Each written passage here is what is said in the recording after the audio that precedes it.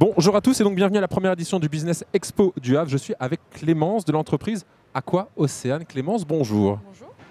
Petite présentation de l'entreprise On est la société Aqua Océane, on fait de la location, de la vente et de la maintenance de fontaines à eau sur réseau. Donc, ce sont des fontaines à eau sans bonbonne directement raccordées à une arrivée d'eau et filtrées.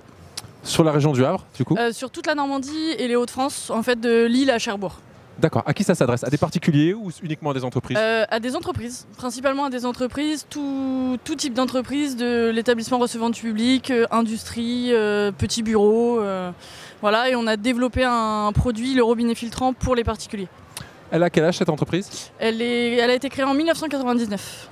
Et quel bilan on peut faire déjà 25 ans après, du coup Euh, que ça fonctionne très bien, que c'est toujours en plein essor, en plein développement et que ça rentre totalement dans une démarche RSE euh, de supprimer les bouteilles d'eau plastique. Euh, voilà.